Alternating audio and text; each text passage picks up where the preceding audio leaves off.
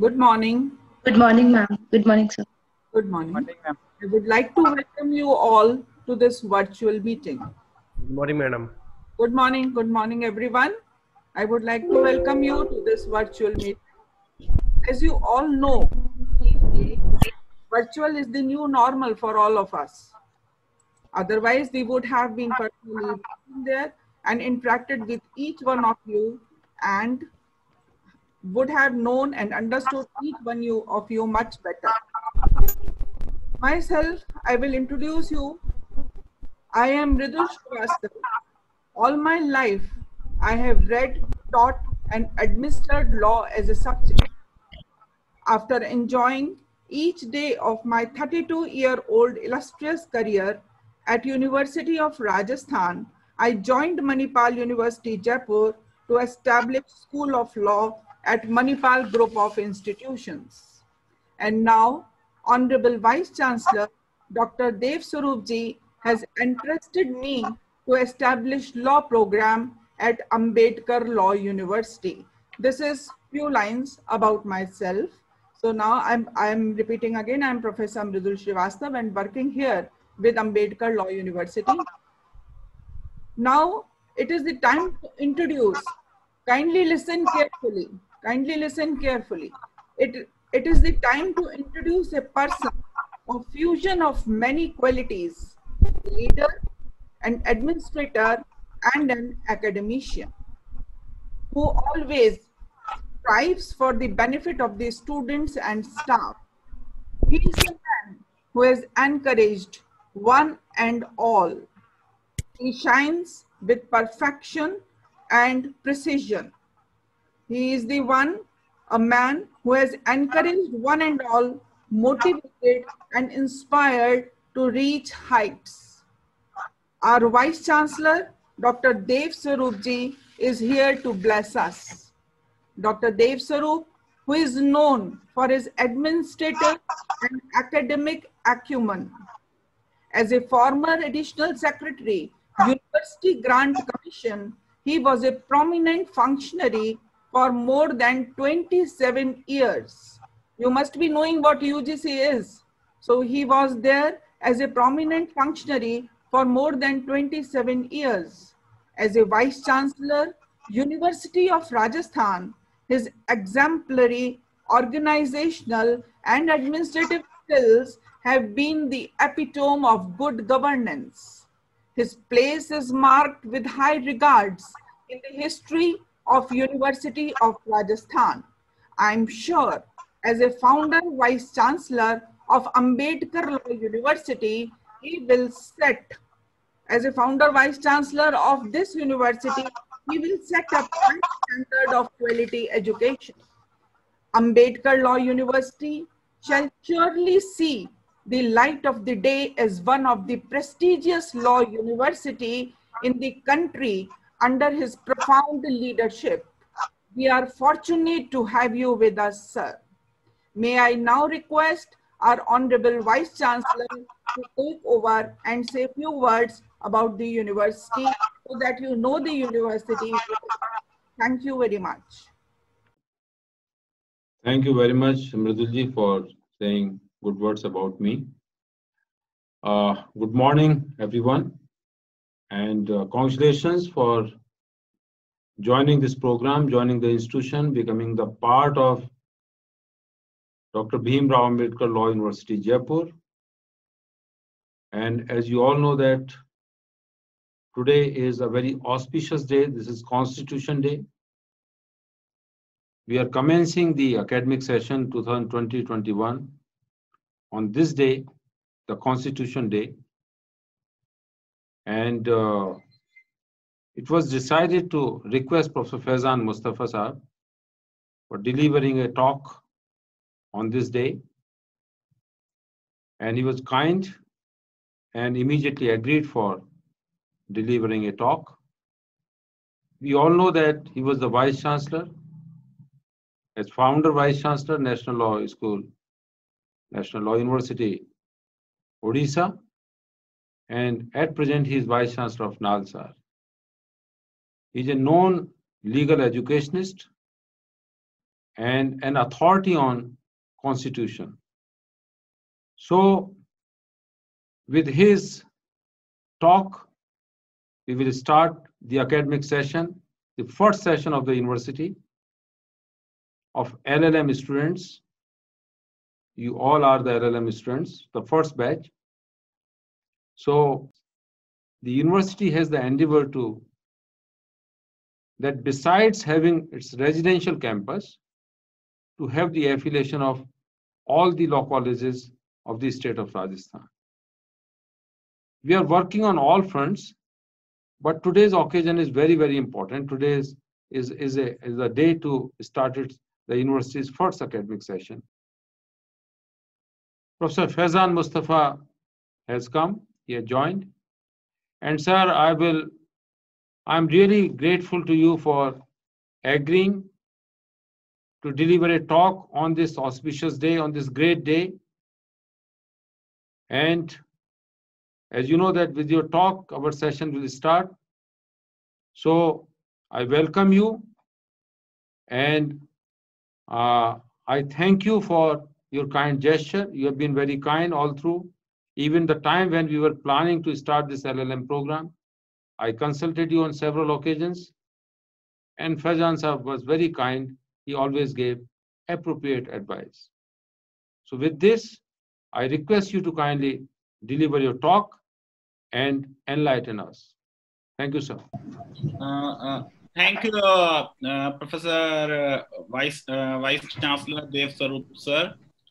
So your Vice Chancellor has served another university with great distinction, was a senior functionary of University Grants Commission and since I founded a university in uh, Orissa, I'm aware of challenges which uh, founder vice chancellor uh, faces.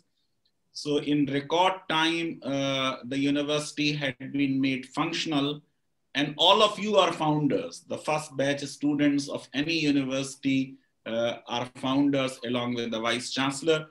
I must also compliment uh, government of Rajasthan uh, which has set up another university in addition to National Law University, Jodhpur, which is doing exceedingly well. Uh, now you have one more university, and that makes uh, Rajasthan, I think, uh, third state to have uh, this kind of university in addition to Tamil Nadu and Karnataka. Now, as far as LLM students are concerned, I always consider them as my future colleagues. So LLM students are not to be taught anything. We may have some kind of discussion, but basically they are all our future colleagues. I don't think anyone should join LLM to uh, subsequently join corporates. If you want to join corporates, you should do it after uh, BALLB or BSc LLB or BBA LLB if you are doing masters in law, then I am going to presume that you want to join academia. And today, in terms of uh, salaries and perks, uh, uh, you know, teachers have almost the same salary. In fact, 1,000 rupees more than a, uh, a newly appointed IAS officer, newly recruited IAS officer. And there are a lot of opportunities because so many law schools, law colleges uh, have been established. So if you want to be a law teacher, this is the best time to teach law because law is everywhere. Read any newspaper and one third of the newspaper will be about judgments given by the courts, observations made by the judges, uh, proposals of new laws which some of the state or central government is bringing in, your editorial invariably will be on something relating to law. So this is the best time uh, to be a law teacher. When uh, I joined teaching, there used to be only one column in Hindustan Times dedicated to law by one uh, Mr. Krishna Mahajan, uh, who used to write a column called Legal Perspective. Decades later, I appointed uh, Mr. Mahajan as professor in Cuttack and started the course of uh, legal journalism. And that brings me to uh, the statement which number of journalists have made to me, senior journalists, that today you cannot do journalism if you do not know law. So law is uh, extremely important. If you want to write judicial services, you can do it after LLB. There is no need for you to do law. Most of your judges of the Supreme Court and High Court are not LLM. So only those people ideally should do LLM who are interested in teaching as a career. Now, since we are uh, having this inaugural uh, uh, talk on a Constitution Day, as you are aware that uh, our Constituent Assembly was constituted in 1946 itself. In fact, if you go to the uh, first uh, major development, historical development in the framing of Indian constitution because the British used to ridicule us and say we won't be able to frame a constitution for ourselves. So Motilal Nehru committee uh, uh, was initially there, which uh, framed a constitution for the country. Of course, subsequently that constitution could not be implemented as there was no consensus, but was it was an extremely important and very well drafted uh, document. So after the World War II, when it was clear that British are not going to stay in India for long, our Constituent Assembly was constituted uh, and its first meeting was held on 9th of December 1946. And initially Sachidanand Sinha was elected as the interim president. And subsequently on 11th of December, you know, Rajendra Prasad was elected as the president of the Constituent Assembly. And from 9th of December till 14th of August 1947, Constituent Assembly was doing only one work, that was drafting of country's constitution.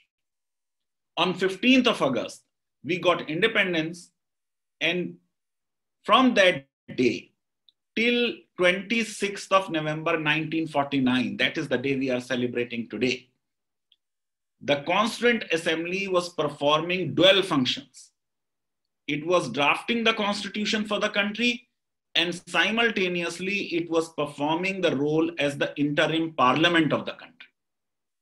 Then our drafting of the constitution ended with the adoption of the constitution on 26 November 1949.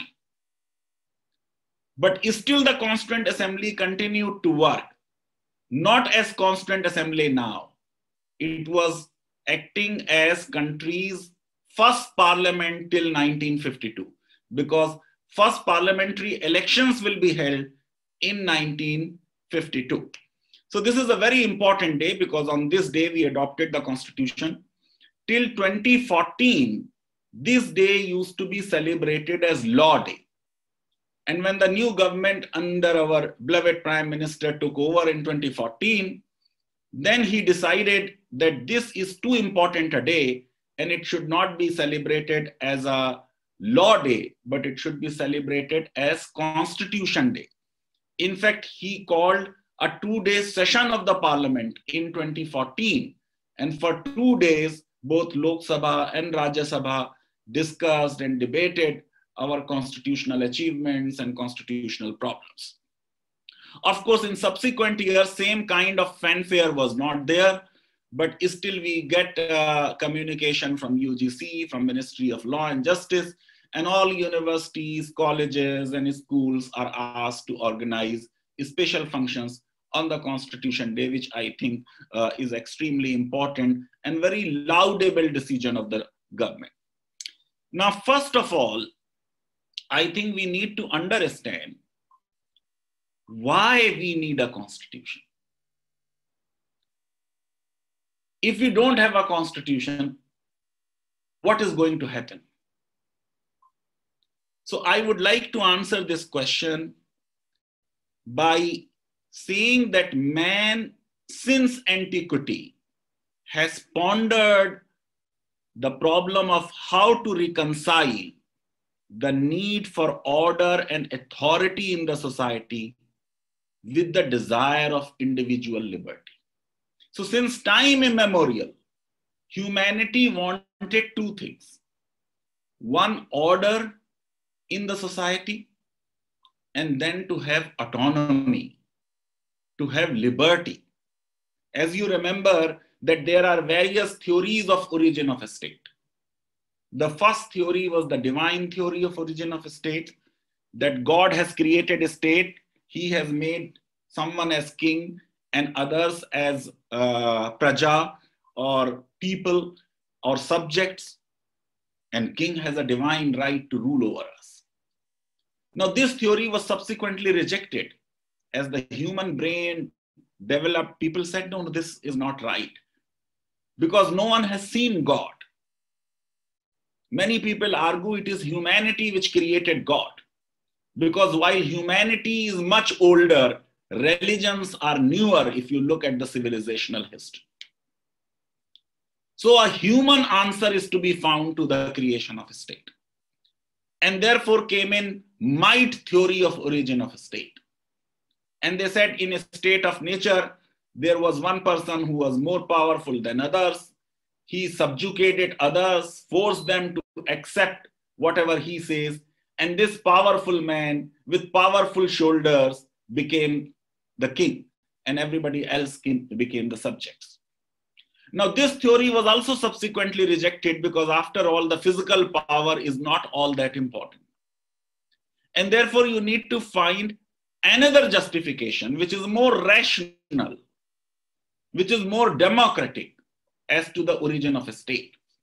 And three main European theorists, Hobbes, Locke, and Rousseau, contributed to it by saying that state came into being not through divine will or not through somebody's might and powerful shoulders, but because of the consent of the people, because of a social contract between people and the state. And this is how Hobbes put it in Leviathan that man in a state of nature was nasty, selfish, brutish, and short. He had dangers from wild animals and from human beings who most of the time are wilder than animals. And therefore, he went to the person, this uh, men in a state of nature, they went to the people, uh, to the person who was most competent amongst them. And they said, We will obey you. Whatever you say, we will accept. But you protect our lives and you protect our liberties. And we will obey whatever laws you make. And this is how state came into being. This theory subsequently led to democracy, that only a person who is consented by the people to rule will have a right to rule over them. Now, as far as rights are concerned, earlier it was said that at the time of social contract, people surrendered their rights to the state. But the modern human rights jurisprudence does not accept the surrender of rights theory. They say that fundamental human rights can never be surrendered. In your LLB, you must have read these cases where Supreme Court has said fundamental rights cannot be waived. So there are some basic human, natural, civil and political rights to whom Indian constitution we call fundamental rights, which are indivisible, which are inalienable, and which are universal. At all points of time, they must be uh, guaranteed. They are non-derogable rights. State merely recognizes them. And therefore, the modern theorists do not believe state confers right on them. And therefore never say, constitution gives us X right or Y right. Your right to equality, your right to life, your right to free speech has not been given to you by constitution. Constitution merely recognizes that you have those rights. And that is why in 1905, when you had no constitution, Bal Gangadhar Tilak said, Swaraj is my birthright. Right of self-determination is my birthright. There was no constitution at that point of time. And therefore, whether you have constitution or you do not have constitution, you will have some rights. Why these rights are important? Because as I said, that in framing the government, which is to be administered by men over men, the greatest difficulty lies in this. You must first enable the government to control the governed. and in the next place, oblige it to control itself. So you have two challenges. You want order in the society, you created a state. You have to give all the powers which are necessary for the governance to the state. All those powers have been given. But don't you know Lord Acton had said power corrupts and absolute power corrupts absolutely. So if you have given all the power to the state, there is every likelihood of this power being misused and abused. And therefore, you want to oblige the state to control itself. How do you control the state? Constitution controls the state. Constitution sets the Lakshman Rekha for all the organs of the state. The problem is that judiciary keeps telling executive and legislature about their Lakshman Rekha, but forgets its own Lakshman Rekha. And executive and legislature make lot of hue and cry about judiciary crossing Lakshman Rekha, but forget their own Lakshman Rekha. Late Arun Jaitley has once said on the floor of the parliament that Supreme Court of India is destroying the edifice of constitution brick by brick.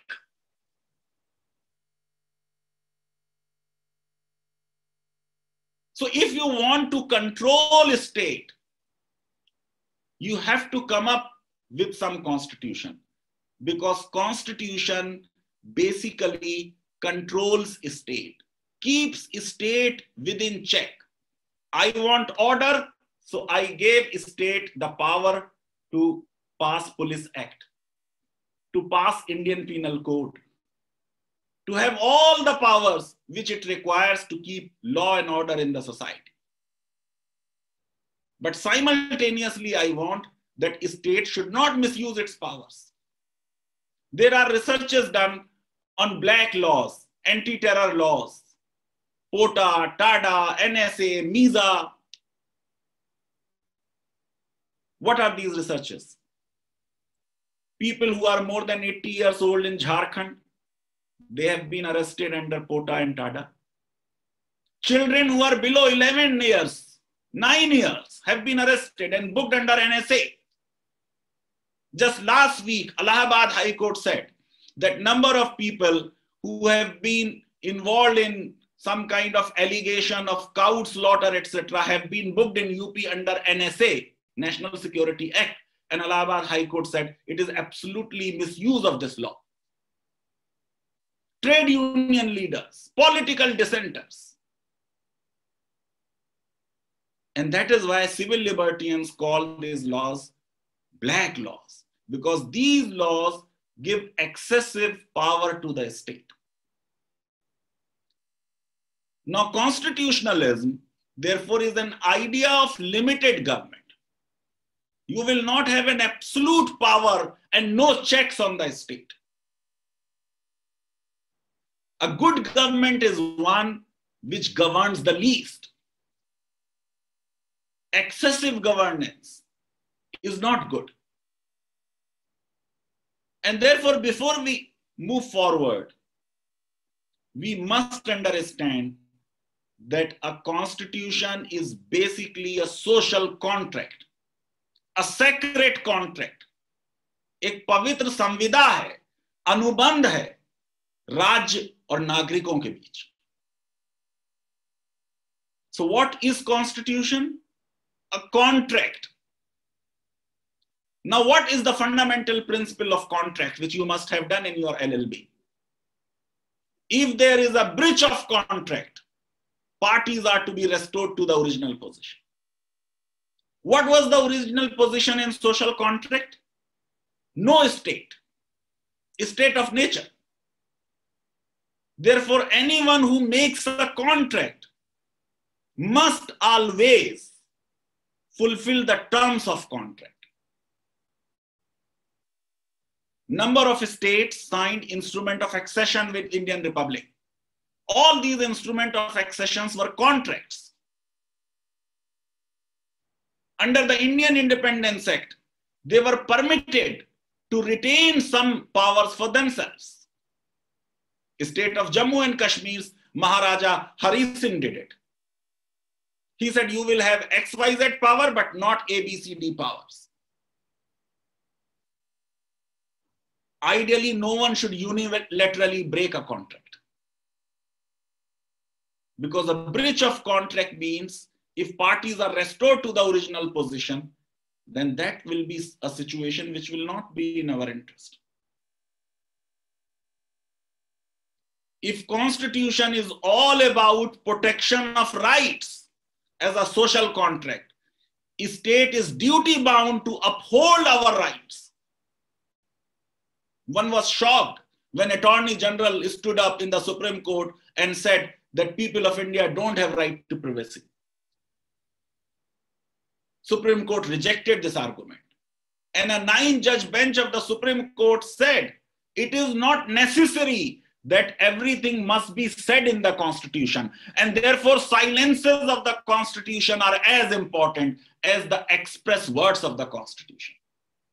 So, Constitution may not explicitly mention right to privacy, but this is very much part of this Constitution and part of Article 21, our right to life and personal liberty. Similarly, basic structure. Yes, no one generation has the monopoly of wisdom. So framers of the constitution are not supposed to govern us from their graves. We should have the power to amend the constitution, to make a constitution a living document if situation demands, we should be allowed to amend the constitution. Can in the process of amendment of the constitution, we can completely destroy the constitution? This was the question when Indira Gandhi, during her regime, was having a huge fight with the Supreme Court. Parliament was asserting its power to amend the constitution. Supreme Court was striking down. But this striking down did not begin in initially. For 17 years, from 1950 till 1967, all earlier cases, Sajjan Kumar, Shankari Prasad, Supreme Court said Parliament has the power to amend any provision of the Constitution. There are no limitations on the power of the parliament to amend the constitution. When this power of amendment was misused, then in 1967 in Golaknath, Supreme Court said Parliament does not have the power to amend the Constitution. After all, Parliament itself is the creation of the Constitution. It cannot destroy the creator. Now, this was also another extreme. One extreme was it can amend any provision of the constitution the way it wants. The other extreme is it cannot amend the constitution. And for any amendment, you need a constituent assembly.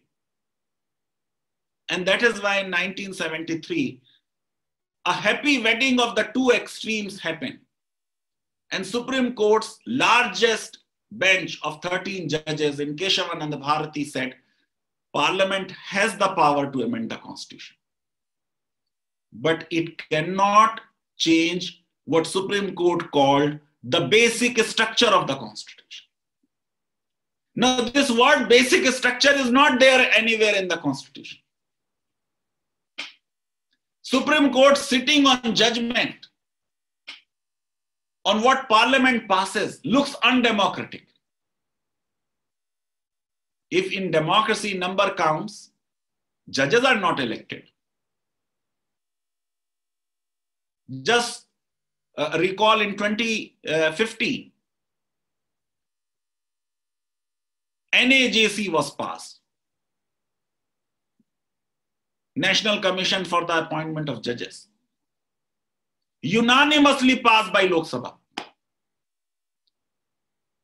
passed with near unanimity by Rajya Sabha. Only one person voted against it, late Ram Jethmalani. And a five judge bench of Supreme Court by 4 1 threw it in the dustbin. Held it as unconstitutional. So you may say that the power of judicial review is undemocratic. But why we should have such a power?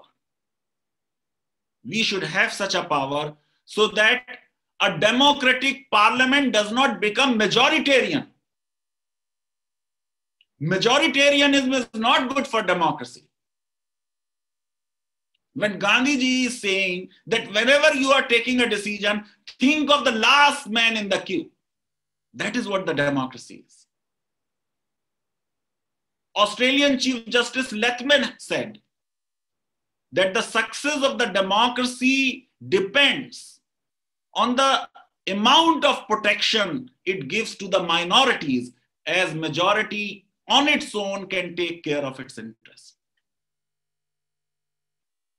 without understanding constitution without understanding the justification of minority rights we called it appeasement of minorities.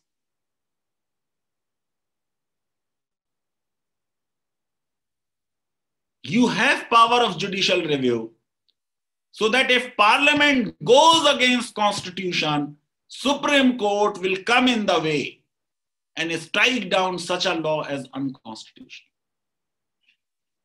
that is the reason of having power of judicial review. So what are all these rights? All your fundamental rights are nothing but negative restrictions on the power of the state. Because the central and core function of a constitution is to control the state, to keep it in check. So when I have right to equality, that means state is deprived of its power to discriminate. So now state cannot discriminate on the basis of religion, race, caste, sex, place of birth. when I have freedom of religion, that means state does not have the power to interfere with my religious freedom. Or when I have a right to personal liberty, that means state does not have the power to interfere in my personal matters. All fundamental rights are nothing but negative restrictions on the power of the state. And that is why they are generally expressed negatively no one shall be deprived of his life or personal liberty. This is the expression in Article 21. And when it says no one, it includes even foreigners. Not only this is a right of Indian citizens, it is a right of every person who is on in, uh, who is in our country, be it an Indian or a foreigner. When in Article 14 we said, no person sh shall be deprived of his, uh, every person shall have right to equality and equal protection of law. Every person will include even a company, a juristic person, an artificial person.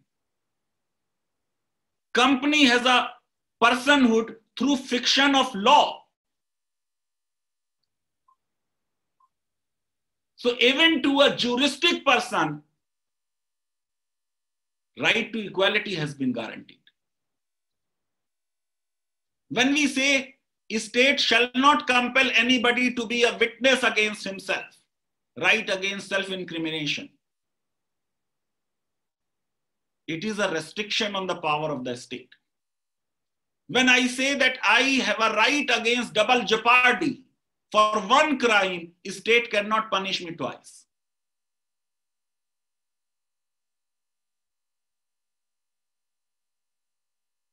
This is the importance of constitution.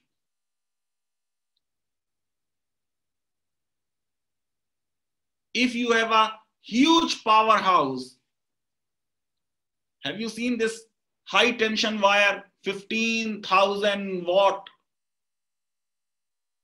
If you look at any meter or a transformer, what is written there? A danger sign. Power is dangerous.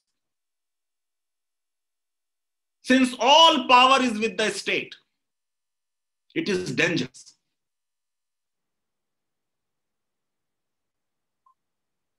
This electricity bulb tube light and fan, it is operating. Why? Because from where power was generated, it went to several substations. And from several power substations, it went to several transformers. And from transformers, after further division, it does not remain 15,000 watt. It becomes 250, 230 watt. तब light जलती है वरना जलाती है power is that dangerous. If power is dangerous, it becomes useful when it is distributed, when it is separated. So we have power, we distributed it between center and state. We said, okay, center will have the, these things and the state will have these powers. So all local matters should be under the jurisdiction of the state. All national matters should be under the jurisdiction of national government or central government. Power should also be separated within the organs of the state. So you have distribution of power between center and state. You have separation of powers. Montesquieu's famous book, Spirit of Laws. So we divide power, separate power between legislature, executive, and judiciary. Because concentration of power is bad.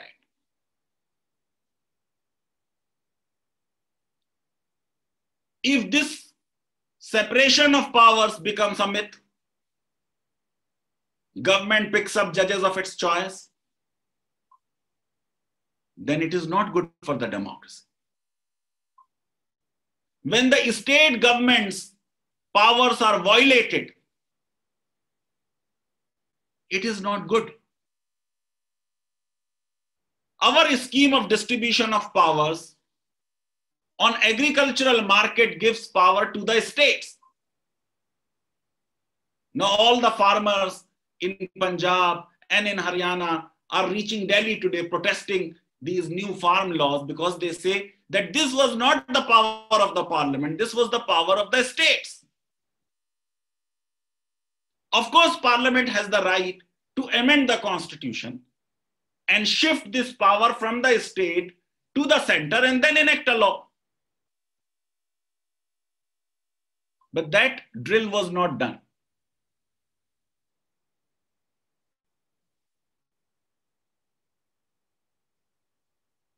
Now, let me answer the question that constitutions are drafted to control state and to recognize and acknowledge rights of people. As I told you, these rights are not gift of the state, therefore no state can withdraw them. These are the rights with which every human being is born. This is what Universal Declaration of Human Rights says. This is what International Covenant on Civil and Political Rights says. This is what International Covenant on Socio-Economic and Cultural Rights says. Our own National Human Rights Commission Act recognizes these norms of international law, international human rights law.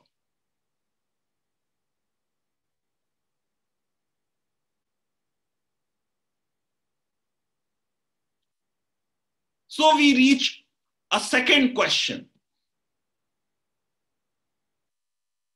that one may have a constitution but not have constitutionalism. Therefore, constitution in itself is not an end if it does not fulfill the purpose for which ideally a constitution is to be framed. China has a constitution but no constitutionalism. USSR had a constitution.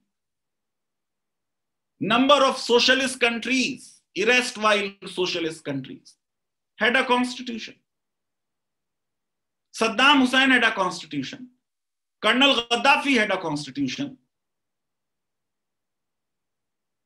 And Hitler had a constitution. Mussolini also had a constitution.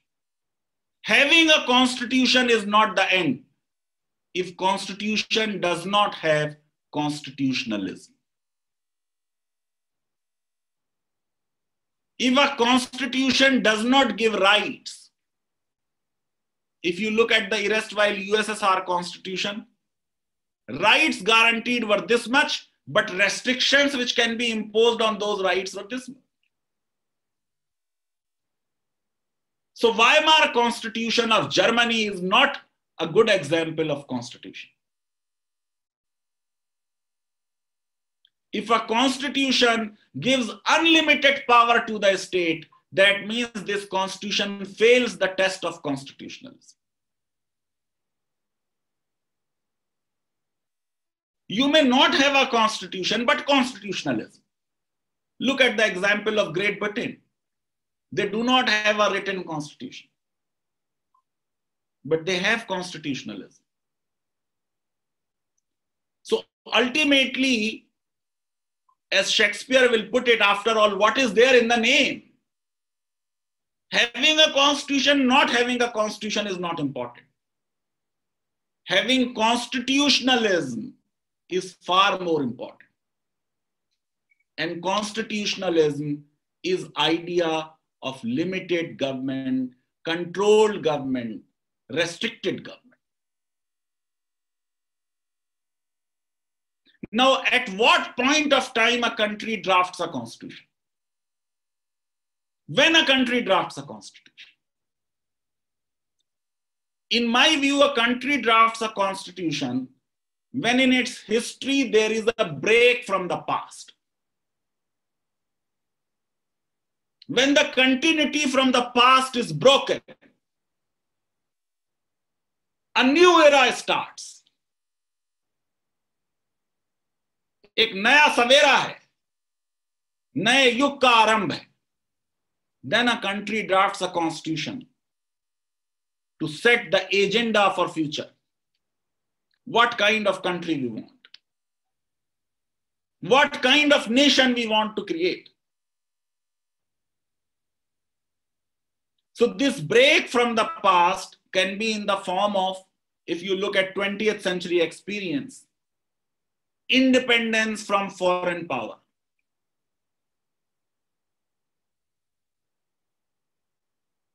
So most of the countries in Africa and in Asia, in America even, when America got independence from England, it drafted its constitution.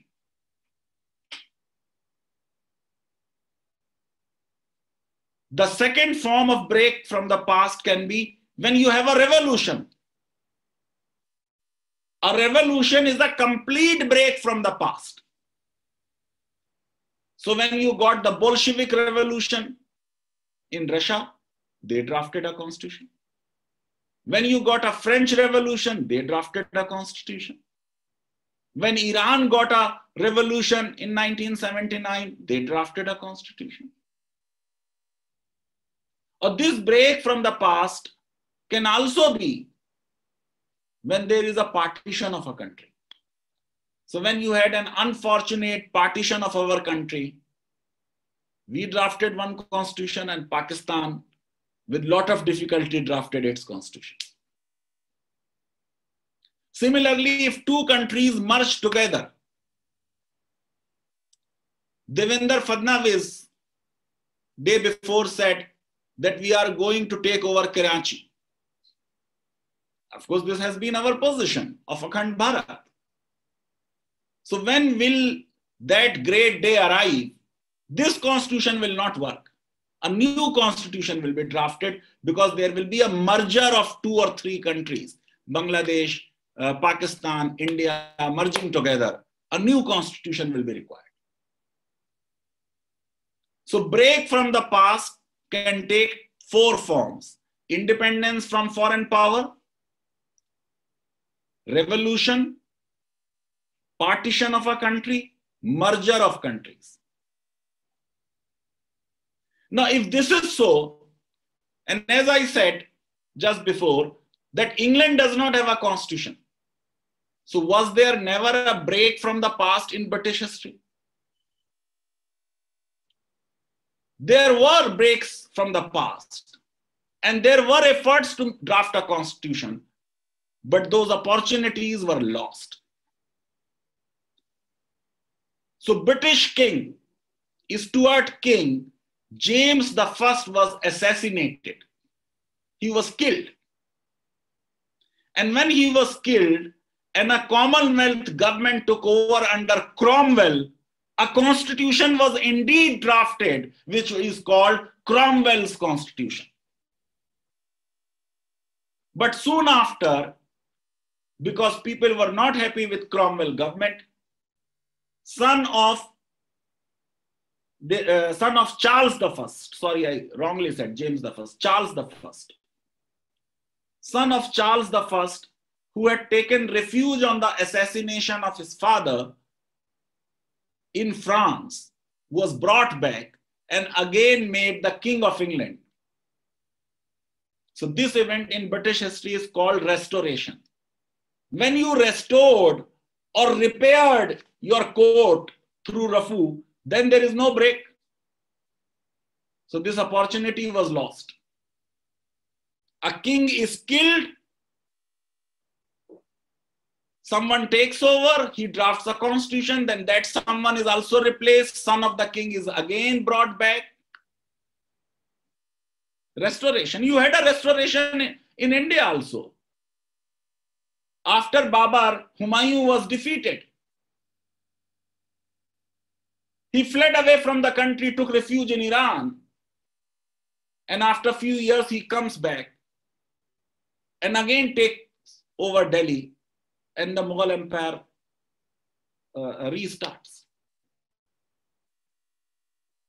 So, one opportunity where there was a break from the past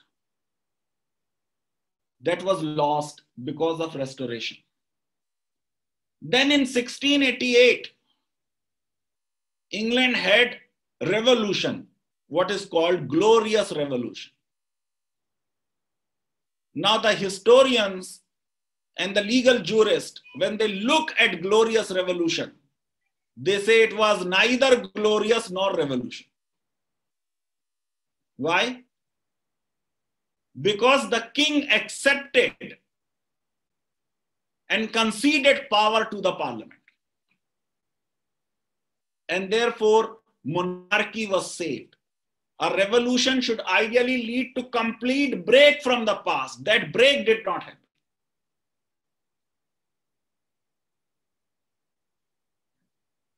And England also had merger. When Ireland and Scotland joined England, so there was an opportunity to draft a constitution. It was lost. Why? Because Ireland and Scotland accepted the supremacy of British Parliament. That whatever law British Parliament will pass, we will accept. So that opportunity was also lost. But today, to say that the British Constitution is entirely unwritten is wrong.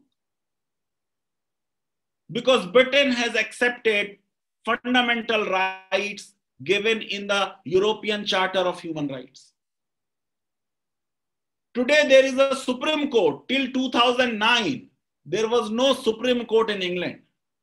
House of Lords used to sit as the Supreme Court of England. 21 law lords used to constitute the highest court in England. So today there are written portions of British constitution. Of course, they are not in the form of one book at one place, like we have in India or Americans have it in America or other countries have it.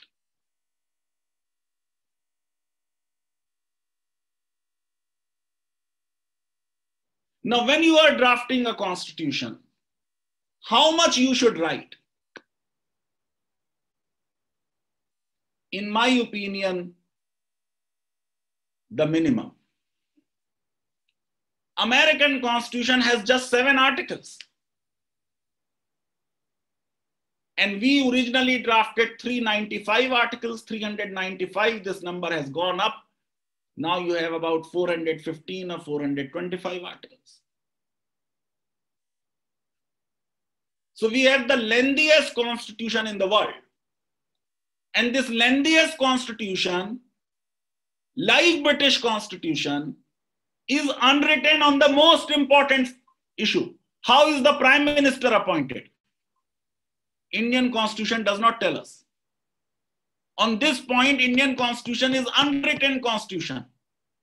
Nowhere it is written in the Indian constitution that leader of the majority party in Lok Sabha shall be appointed by the president as prime minister.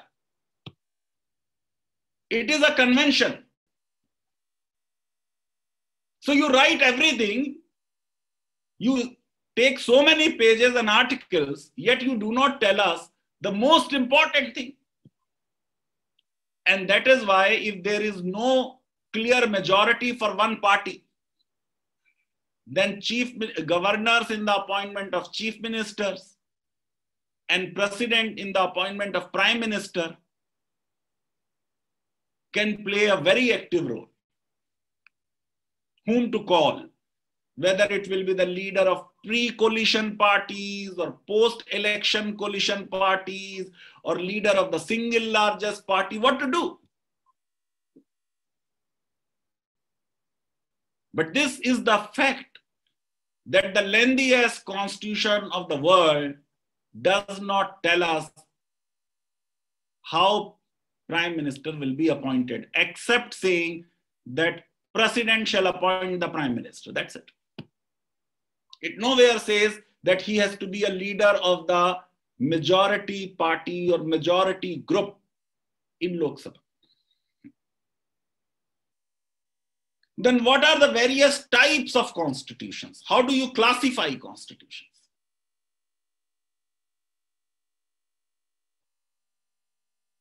So if you look at distribution of power, if power between center and state is divided, both the governments operate within their allotted sphere, it is called a federal constitution. If power is concentrated in center or center has a dominating position, it is called a unitary constitution. British constitution is a unitary constitution. American constitution, Canadian constitution, Australian constitution, Nigerian constitution, Indian constitution or federal constitutions. Constitutions can also be classified on the basis of type of government they create.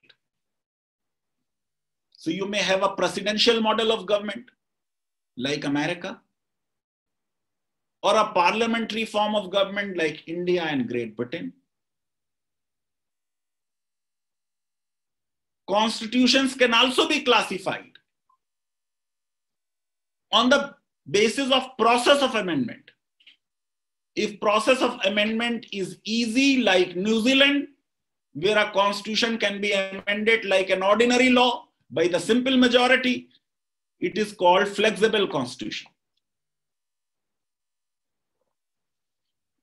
If the constitution amendment process is difficult, it is called rigid constitution. So now we know that when a country frames a constitution, why a country makes a constitution, what function constitution should perform. Let us now look at the reality of our world. So many countries have constitutions. But if 19th century has seen the death of God, 20th century and 21st century in particular is experiencing the death of constitutionalism.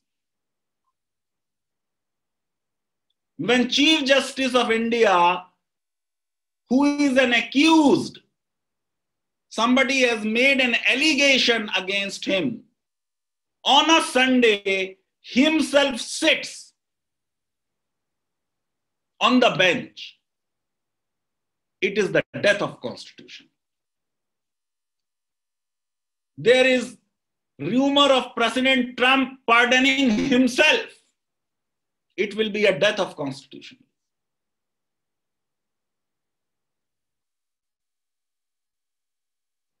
societies are authoritarian by nature.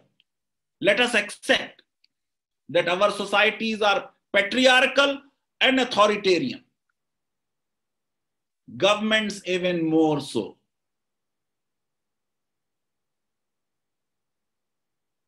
Even about American Constitution, it is said it is tilting towards totalitarianism. How come people like Trump were nominated for the presidency by a political party? Why political party did not function efficiently as a gatekeeper?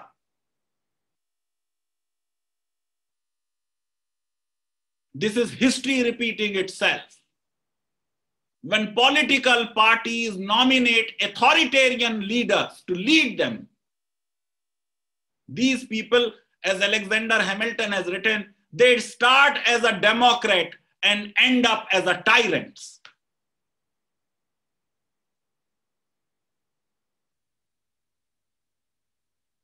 They may win elections, may, may have huge popular support, but nevertheless be authoritarian. Indira Gandhi did win massive electoral victories but she became authoritarian. Hitler, I need not tell you, was authoritarian. Or Mussolini need not tell you was authoritarian. So when political parties nominate people who have authoritarian tendencies, since they are members of their political party for decades, they should know what kind of man or women they are. just to get votes that somebody can polarize the society between immigrants and non-immigrants between blacks and whites between majority and minority you nominate that person to lead the party of course you will win if religion becomes important if race becomes important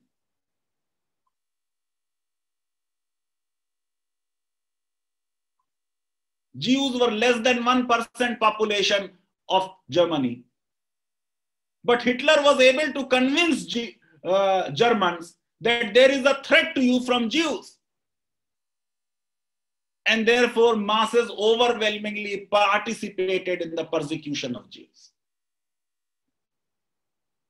Today, democracies are not dying because of the military coups. No military dictator today takes over the way Pinochet took over, or Ziaul Haq took over, or General Ershad took over, we are living in an age where greatest threat to democracy is from the ballot, not from the bullet. Who is to be blamed for this? First, the political parties who nominate these people, and to the people who vote for them.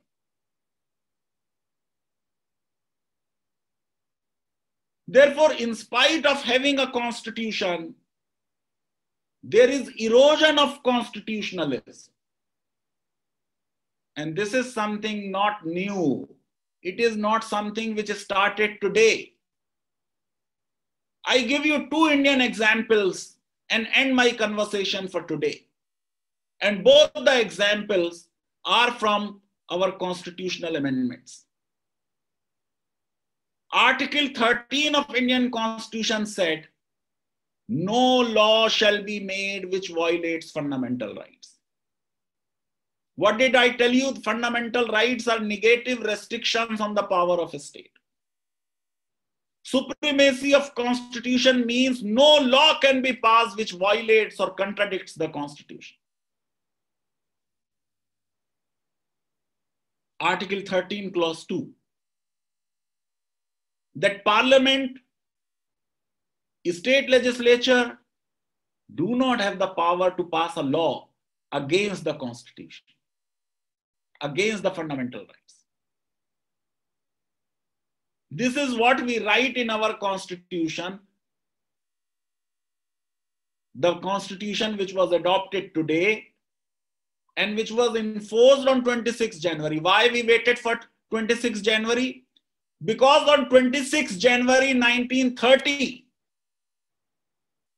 under the presidency of Jawaharlal Nehru, on the bank of river Ravi, we had taken the Purna Swaraj resolution to commemorate Purna Swaraj resolution. We did not enforce our constitution immediately on 26 November. We waited for two more months.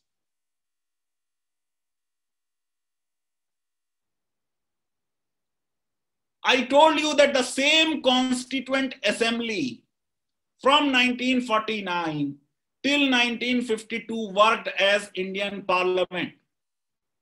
So same members who drafted the constitution are now passing laws as parliament, amending constitution which they themselves drafted. What was the first amendment? The first amendment inserted ninth schedule, Article 31B. What did it say? We will pass a law which will violate fundamental right. And we will put it in ninth schedule and you cannot challenge it in the court of law. And this is not somebody authoritarian has done. This is Nehru himself as a prime minister.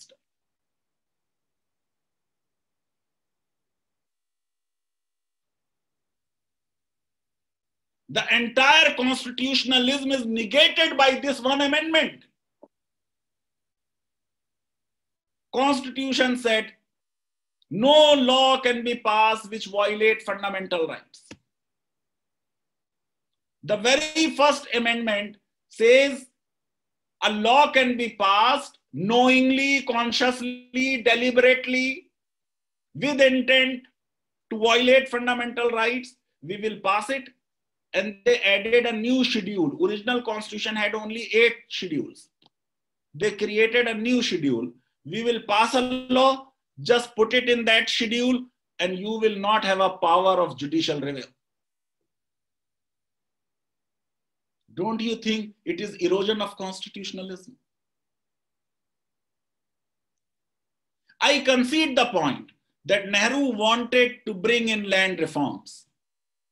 I concede the point that the elitist Supreme Court was supporting the zamindars. And land reforms laws were getting struck down because you also had right to property as a fundamental right. But today you look at this list.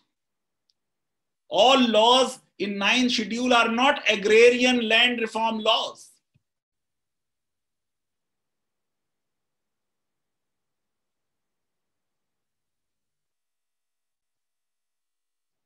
Now I give you another example.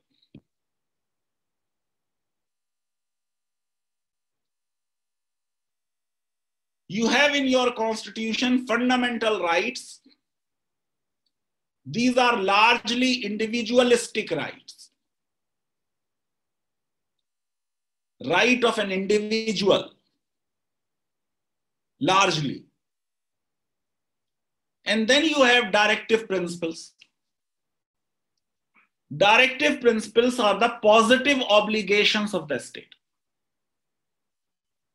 Fundamental rights are the negative restrictions on the power of the state. Directive principles are the fundamental rights are negative restrictions. Directive principles are the positive obligation. So a state can pass these laws when they have economic resources, when they feel it is feasible. But in last 70 years, only two directive principles remain in public debate. One is cow slaughter, another is uniform civil code. About rest of the directive principle, be it right to living wages, be it right to nutrition, be it uh, other rights, we don't make a reference because we are not fair. Now, the framers of the Constitution said fundamental rights are justiciable. Means if a fundamental right is violated, you can go to the court. But if directive principle is not implemented, you cannot go to the court. So fundamental rights, as I said, are negative restrictions on the power of the state. No state is happy if its powers are curtailed. So you have to find a mechanism to get power to violate fundamental rights. So Mrs. Gandhi, first through the 24th Amendment and then through the 42nd Amendment, provided a unique, a unique system of taking away people's rights. This is how the argument was constructed. Fundamental rights are individual rights. We Indians are not bothered about individual rights. We believe in community, not individual. We are not a adhikar pradhan rashtra. We are a kartavya pradhan rashtra. Under our ancient scriptures, the only right you have is the right to do your duty. So don't ask rights, do your duty. You remember in Mahabharata, the famous dialogue which is taking place between Arjuna and Lord Krishna, when even Lord himself asked Arjun to fight in the name of a right. You have a right to this kingdom. What does Arjuna say? I cannot fight against my own family members. These are my brothers. These are my gurus. How can I pick up weapons against my own near ones, dear ones, and blood relatives? So, in the name of right, even as great an advocate as Lord Krishna was not able to convince Arjuna. So, as an intelligent lawyer, Lord Krishna changed the tenor of argument and said, No, it is your dharma to fight. It is your duty to fight because you are fighting injustice. And rest is history that Arjuna picked up and won the battle. So Mrs. Gandhi said, These are individualistic rights. Directive principles are community rights community rights should prevail over the individual rights. Okay, if this is so, that the larger public good demands that my right to equality or my right to speech or my right to movement is to be curtailed, if it can do some great public good, okay, violate my right. Now look at Article 31C amendment introduced by Indira Gandhi. She was a Democrat but became authoritarian. Therefore, whosoever is Democrat may turn authoritarian. And there was a time when people used to call India is Indra, Indra is India.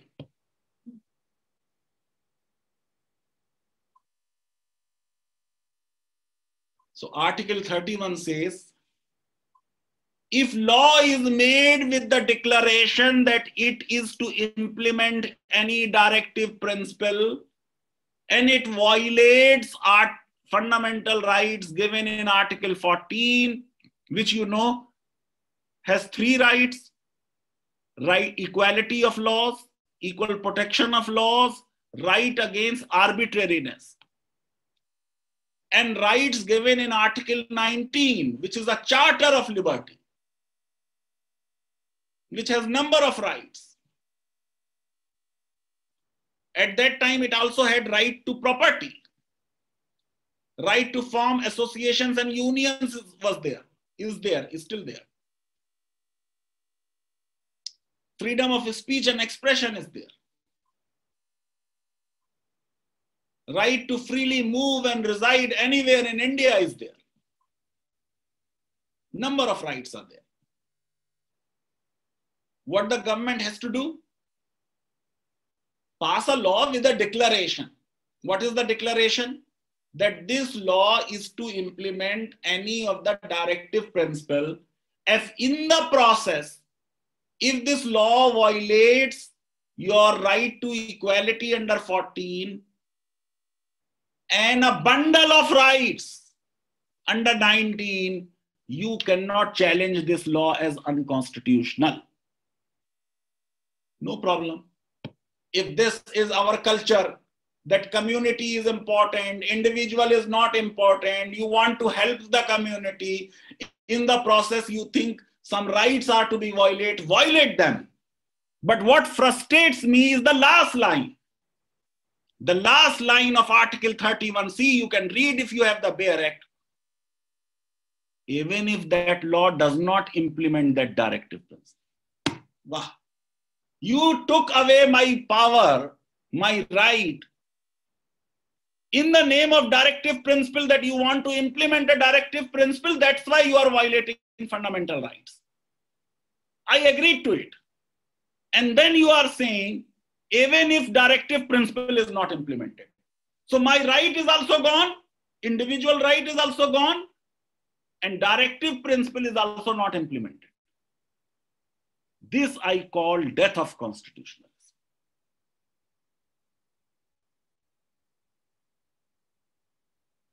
And what did our courts do?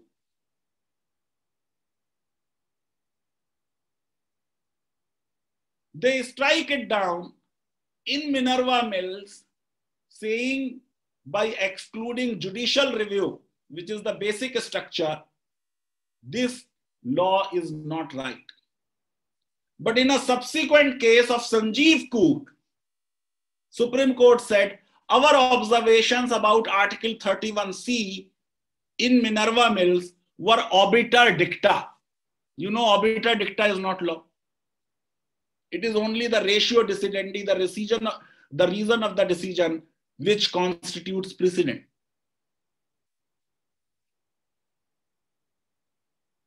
This is what I call death of constitutionalism. When you come up with laws like UAPA, Our legal system says if there is an allegation against anyone, prosecute him. Let a court of law find him guilty and punish him. It is a judicial function to determine the guilt of any human being in a fair trial. Now, through UAPA amendment, government executive has taken over this judicial power to say we will declare whomsoever we want as terrorists. This is the death of constitutionalism. When we go against federalism, distribution of power, don't give enough space to states and provincial governments. This is the death of constitutionalism.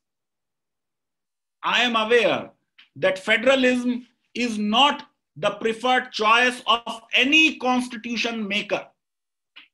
No framer of constitution wants to create a federal government. Everyone wants unitary government. But if you have diversity, if your country is too big, you cannot manage them all, then you out of compulsion adopt federalism. But when a country refuses federalism, then it leads to partition of the country. Had the cabinet plan of 1945, which was federalism, accepted, the partition of the country would have been averted.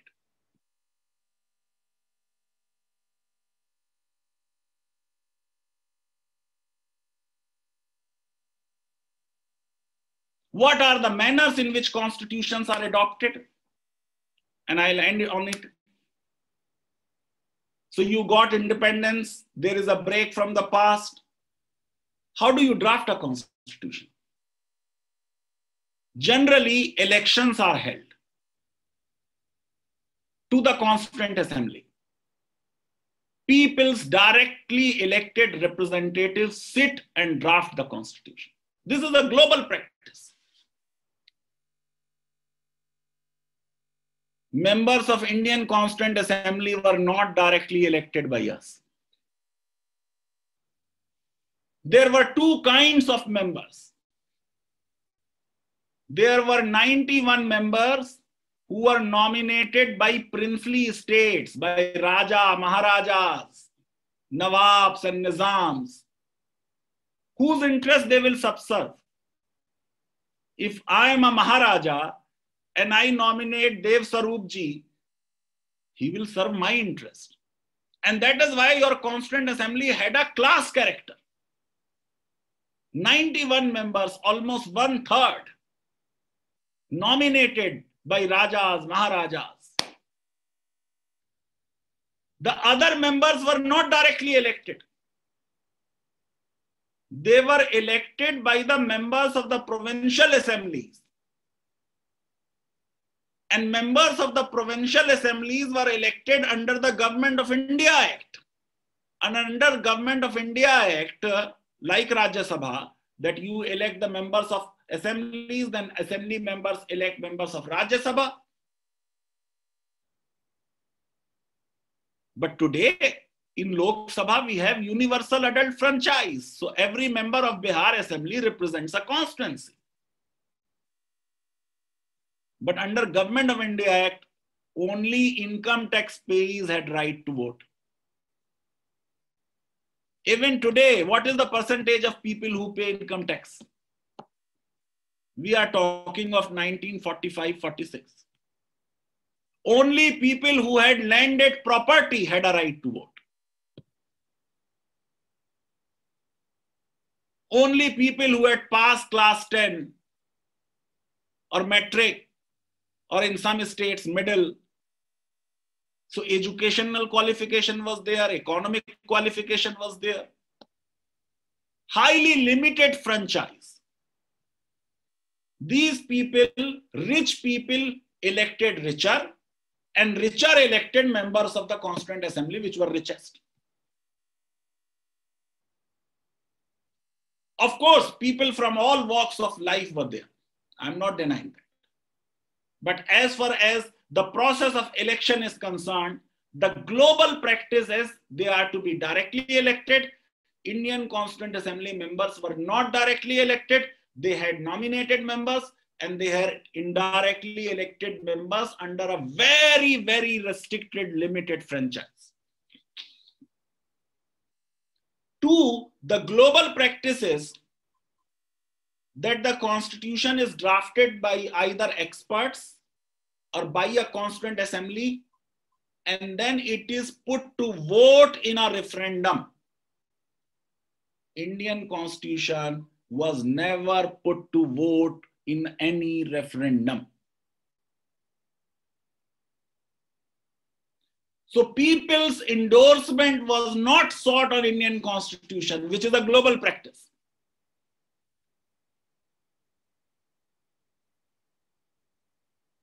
People have no role in the amendment of constitution.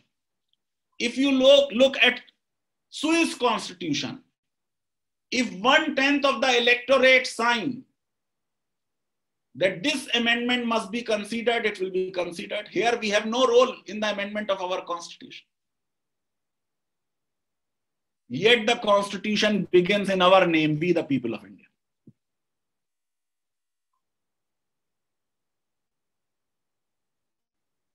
And you will be surprised. Forget about India. Even American constitution was not legitimately adopted.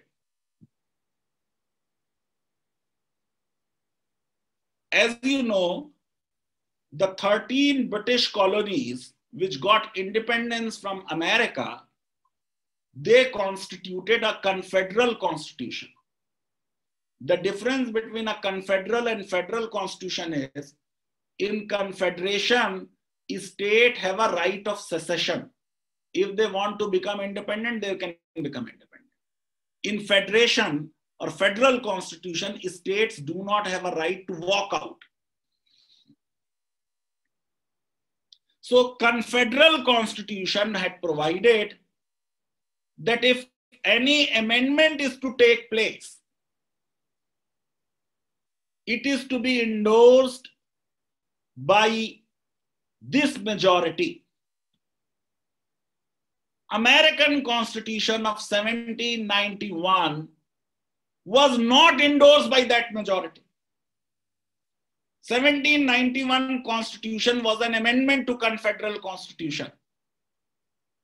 It was amended in violation of Confederal Constitution amending process. And therefore, even American Constitution, which began in the name of we the people of United States, was wrongly adopted. But both about American Constitution as well as Indian Constitution, we can say that maybe by people participating in successive elections, we have impliedly endorsed the Constitution. We have impliedly agreed to this content of the Constitution. And if this is so, then the soul of the Constitution must not be changed. If Constitution is a social contract, no one party has a right to change the content of that contract. In no contract, one party can unilaterally terminate the contract. No one party, therefore, should be able to bring a change in the constitution. I think we are living in very difficult times. We may have best of the constitution, but we need to look at how COP constitution operates. As it is put that you have one which may be called jurisprudence publique. So constitution is there. We may have a democratic constitution, but are we really democratic? Are in our personal life we are democratic? Do we accept dissent? Do we allow that space to our own children, our own spouses? Just participating in election one in, in five years in a polarized election is no democracy. So you may have jurisprudence publique, which is constitution, but there is one jurisprudence confidentially, how the constitution really operates. And if you look at the reality of constitutions, whatever I told you about constitutionalism looks a myth. Myth in the sense that a constitution, rather than a charter of liberties, in reality, it looks that constitutions are ostensibly about limitations and rights, but in reality, they are about power and control. And if constitutions in their operational code operate as power and control, that means you have a real threat to constitutionalism. Thank you. That's great. Mridul ji, aage. Yes, sir. Thank you so much, sir. Yeah, in how, how simple manner you have made us understand the difference between constitution and constitutionalism, concept of separation of power, fundamental rights are negative restrictions of the power of the state, whereas directive principles are positive obligations, and so on and so forth, sir. Now, as the gratitude is a word, the gratitude is the finest blossom that springs from the soul. I humbly express my gratitude to all of you for making out time for this academic celebration. The importance in this event increases manifold by the gracious presence of one of the finest legal laureates the country has ever witnessed. Who could have been a better orator than Professor Faizan Mustafaji for this great day to interact with the young minds? I'm sure, sir, that your valuable input shall stay for long time, carving a bright pathway for our students and for all of us. We are deeply honored to have you with us, sir. I take this opportunity to thank our Honorable Vice Chancellor, Dr. Dev Swarupji, who has been the torchbearer for us. Sir, you have been a constant support and it would not have been possible to organize this event without your continuous encouragement. Your blessings gives us fresh inspiration to tackle what seems to be impossible. Thank you, sir. Thank you for being you. I am really thankful to all of us who have joined this meeting. In, it's my pleasure to thank all the BOM members, all vice chancellors, my colleagues and friends who have joined this session by taking out time from their very busy schedule. I'm also thankful to our technical team for managing everything very smoothly and efficiently. Thanks to all once again. Please take care, stay safe, stay blessed. Thank you so much. All right. Thank you. Thank you, sir. Thank you for being with us. Thanks.